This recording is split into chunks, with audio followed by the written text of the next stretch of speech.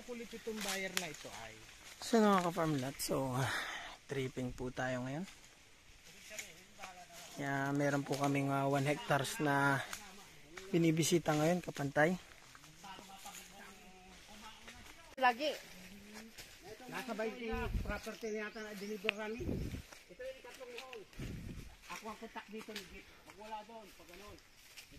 Maganda dito, daming tanim. Ito na pagitan, di na ito, ito lang. Tayo may hilirang mali sa kawin. Hindi na ito. Kanina ito.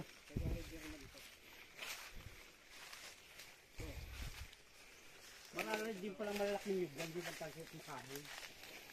Ngayon nga oh.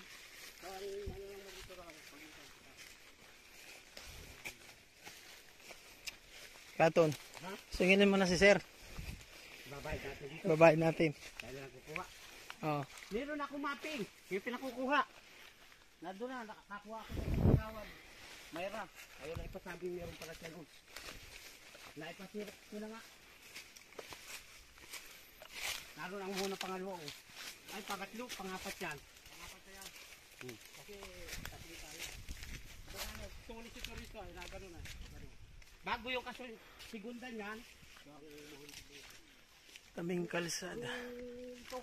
ating unang So, ito po, tuhog ng kalsada. May sakop din po dito. Na. Poste ng kuryente. Wala, kita ko na. Nandun ang bunto to yun. Sa dito.